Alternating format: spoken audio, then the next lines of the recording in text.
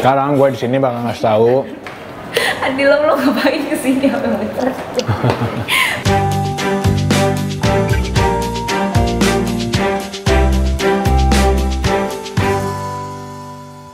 Oke, selamat lagi ketemu lagi bareng gue Sigi lagi di sini yang bakal ngejelasin 6 cara jaga kesehatan waktu lo lagi puasa. Ini penting nih karena kalau lagi puasa sering gitu ya, sering sakit-sakitan gitu. Makanya kalau bisa sih lo pergi ke toko obat beli doping. Eh jangan. Per -per Pertama, ketika lo pengen jaga kesehatan lo waktu lagi sahur, jangan begadang sampai imsak. Ini sering banget gue lakuin. Jadi kayak gue uh, karena gue pikir oh udah jam 2 ya udahlah tanggung nggak usah tidur. Kalau udah saatnya lo tidur jam 11, jam 12 ya lo tidur aja. Jangan ditahan-tahan ya. Kedua, abis sahur jangan langsung tidur. Karena kalau langsung tidur yang gue tahu nih ya, justru malah perut lo itu jadi bergejolak gitu. Pokoknya intinya lo kayak mau muntah gitu deh. Ketika lo mau sahur, lo itu bangunnya sekitar jam setengah 4 atau jam 3. Jadi abis itu lo langsung nunggu subuh tuh. Nah nunggu subuh kan nanti nunggu makanannya turun kan. Nah baru selesai subuh, baru lo tidur. Walaupun yang terjadi, gue yakin banget lo makan tidur, makan tidur, makan tidur. Itu pasti yang terjadi tuh.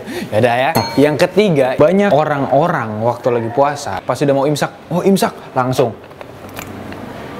langsung minum banyak-banyak. Dipas-pasin aja. Sekarang yang keempat ketika lo sahur banyak-banyak makan sayur. Karena sahur itu terdiri dari kata-kata sa dan ur. Nah sayur juga terdiri dari kata-kata sa dan ur. Jadi lo harus makan sayur. Terus yang kelima nih jangan kebanyakan tidur waktu lagi puasa. Walaupun tidur adalah ibadah. Kalau menurut gue sih ya jangan kebanyakan tidur juga ya. Yang keenam jaga kesehatan mental lo hati lo. Jangan lo mikirin satu hal yang bikin lo jadi jadi stres. Kayak misalnya lo mikirin mantan lo gitu kan. Mantan mantan lo udah jadian sama pacar lain gitu. Misalnya gue nih mikirin mantan gue cewek udah jadian sama cowok lain. Ya daripada lo mikirin mantan lo ya udah. Lo mikirin pacar mantan lo aja yang baru ya kan? Habis itu lo suka sama pacar mantan lo yang baru itu. Habis itu lo jadian sama mantan pacar lo yang baru itu.